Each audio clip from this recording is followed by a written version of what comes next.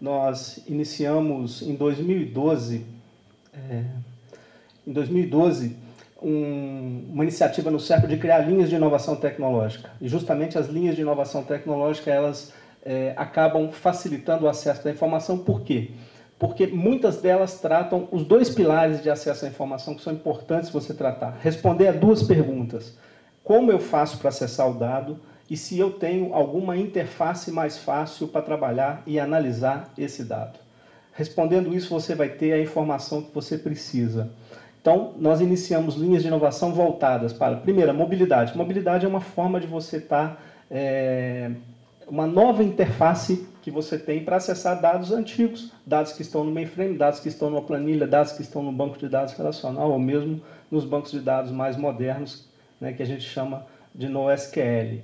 Então, nós iniciamos no CERP por uma linha de inovação tecnológica chamada mobilidade digital. Nós criamos lojas, é, tanto no Google, quanto na Apple, quanto na Microsoft, quanto na Amazon, para disponibilizar para os clientes do CERP né, a possibilidade de ter aplicativos aonde os cidadãos, aonde as empresas possam estar acessando e recuperando informação. Então, a gente acha que, o CERPRO acha que, iniciando a inovação tecnológica, né, é, você vai, de forma muito clara, trabalhar é, o acesso à informação facilitado. Um segundo, uma segunda linha de inovação tecnológica que o CERP trabalhou, criar o que a gente chama de dados como serviço. O que é isso? Né? É montar um barramento onde fique transparente para quem está usando de onde vem a sua fonte de dados. É, não estou falando aqui de agregar dados ainda, mas eu estou falando assim, eu quero de uma forma mais facilitada acessar um dado que está no mainframe. É, o CERPRO hoje, em torno de 60% das bases de dados continuam no mainframe. Né? Essa quantidade de dados são dados estruturados, é uma quantidade grande. Para você fazer cruzamento desses dados com dados não estruturados é bem difícil.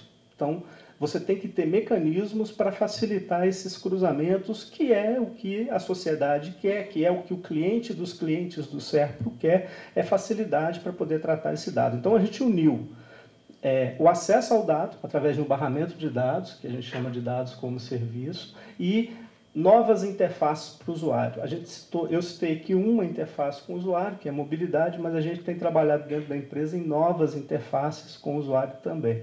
A gente acha que essas duas formas de inovação tecnológica estão ajudando né, os clientes do SERP e os clientes dos clientes do SERP a terem mais acesso à informação. É, um segundo ponto que eu, que eu gostaria de citar é que a SLTI ela mantém e trabalha o portal de software público.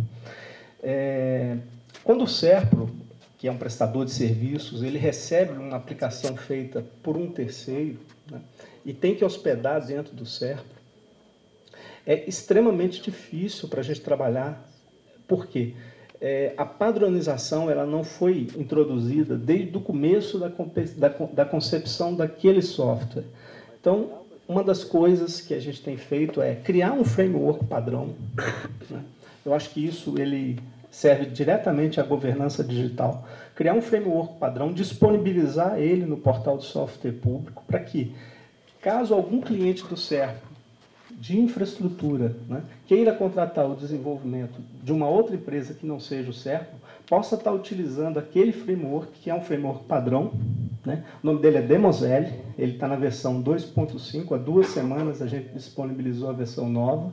Né? Ele já trata HTML5, por exemplo, que é para você fazer aplicações de dispositivos móveis, e ele já está, é, de uma certa forma, preparado para que o CERP possa publicar em uma loja da, da, Apple, da Google e assim por diante. Ele tem uma série de features, né?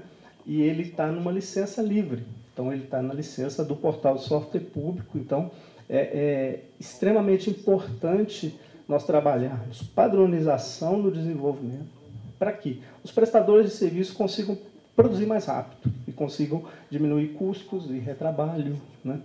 que é, a gente sabe que, que é, faz com que a empresa pareça muito lenta quando você tem que colocar algo em produção. Né? CERP recebe várias críticas, né? mas muitas vezes é em função de softwares desenvolvidos fora do CERP que a gente não está conseguindo rapidamente brotar em produção e a gente acha extremamente importante para a governança digital ter um framework e esse framework ser utilizado é, no desenvolvimento de aplicações de uma forma a facilitar a entrada em produção dentro da empresa. Voltando às linhas de, de inovação tecnológica, elas, de certa forma, elas contribuem com a integração e interoperabilidade, né? Isso está dentro da EPING, é uma das áreas da EPING. É, a ideia principal das linhas de inovação era produzir esse acesso à informação facilitado e também compor o que a gente está chamando em 2015 de Centro de Informações do SERPRO. É, tem um site disponível na internet, é cis.serpro.com .gov.br, CIS, de Centro de Informações CERPO, onde nós estamos convergindo as linhas de inovação tecnológica, tanto as linhas que eu citei, mobilidade e, e dados como serviço, como outras linhas de inovação que as equipes do CERP precisam fazer no seu dia a dia para atender pedidos dos clientes, ou mesmo propor coisas novas para os clientes, desde que a gente consiga é, modelos de negócio compatíveis. Ou seja, o centro de informações do CERP ele é algo pensado para ser algo além apenas da tecnologia, pensado para ter modelos de negócio que viabilizem. Né? Muitas vezes a tecnologia ela vai muito mais rápida do que o negócio, e muito mais rápida que a legislação. Né? Eu lembro computação em nuvem. Né? A gente discutia como prestar serviço de computação em nuvem, nós disponibilizamos ambientes dentro do Serpro, mas o cliente não tinha como nos contratar, porque aquele modelo de negócio não estava azeitado, não estava pronto, não estava maduro né, para a empresa como o Serpro ser contratada para prestar computação em nuvem. Então, é, voltando, voltando às linhas de inovação, eu queria falar de mais uma, que eu acho importante, que é tratar grandes volumes de dados. Né? Eu falei rapidamente aqui de como acessar mais fácil, mas eu não falei de como tratar grandes volumes de dados. O mercado tem chamado isso de Big Data. É, acho que o ideal para governo seria chamar Big Data analítico, porque tem um fim. O fim é extrair informação analítica a partir daquela quantidade grande de dados. Ninguém vai montar uma base de dados para só ficar lá. Então, você precisa extrair informação dela. Então, Big Data Analytics né, é algo que é, seria uma terceira linha de inovação tecnológica que vai estar disponível dentro desse centro de informações do CERP, onde a empresa ela vai procurar tratar grandes volumes de dados, usando o barramento de dados ou outras tecnologias que surgirem, para permitir que esse dado construa o que a gente está chamando de um grande data lake, né, que ele possa é, permitir que a gente possa prestar serviços. E aí, uma das iniciativas do SERPRO que mais é, é, vão fazer um diferencial se vai ter sucesso ou não usar Big Data para governo é a redução de custo de armazenamento. Isso eu queria falar um pouco. É, hoje o mercado ele tem cobrado, pessoal, em torno de 20 mil reais o terabyte de informação para uma empresa como o SERPRO. É, isso é um valor extremamente caro hoje, considerando que nuvens públicas do mundo não estão cobrando esse valor de terabyte. Só que quando você adquire o hardware para produzir um sistema dentro de uma empresa, esse é o que o mercado brasileiro tem cobrado em um pregão eletrônico. Isso é extremamente caro. Né? Extremamente caro. Nós temos que chegar em valores abaixo de 3 mil reais o terabyte para poder iniciar a discussão de Big, Big Data Analytics. Temos que ter novas tecnologias para poder fazer isso. E uma das iniciativas é, que vão ajudar nesse sentido é começar a discutir bancos de dados no SQL, bancos de dados que não são relacionais, para armazenar esse tipo de informação de Big Data. Né? É, o CERP iniciou laboratórios, né?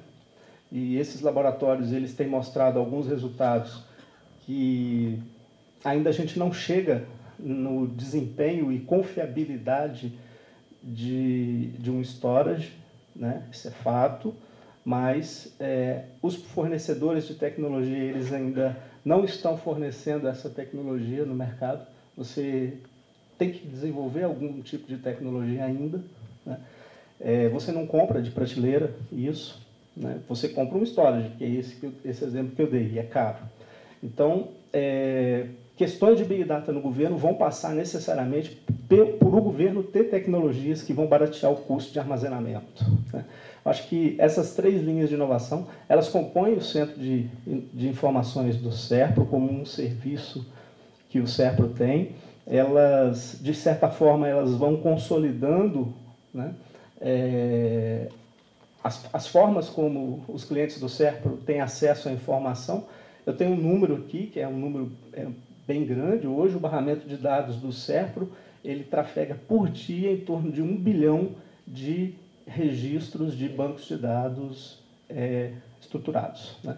Nós não temos bancos de dados não estruturados justamente porque a gente ainda não resolveu como ter um armazenamento mais barato.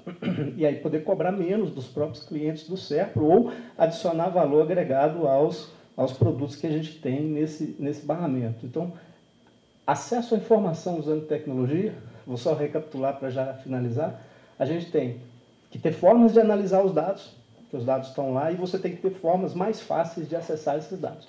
Principalmente se você está trabalhando com empresas que têm legados muito grandes, né? como é o caso do CERPRO e outras empresas de TI do governo brasileiro, que têm sistemas que rodam há 35 anos. Né? É o caso do CIAF. Então, a gente tem que ter, forma, tem que ter formas mais modernas de acessar esses dados.